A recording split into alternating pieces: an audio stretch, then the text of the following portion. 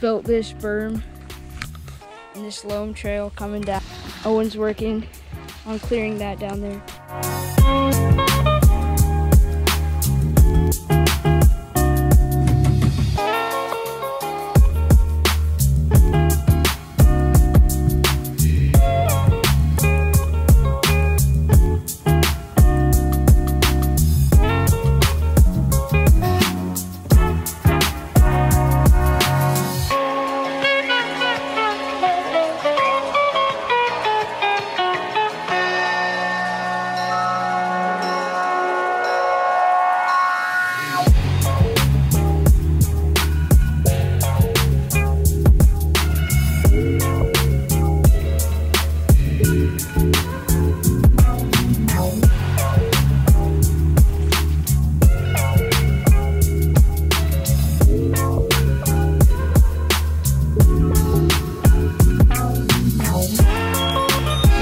finished clearing the trail.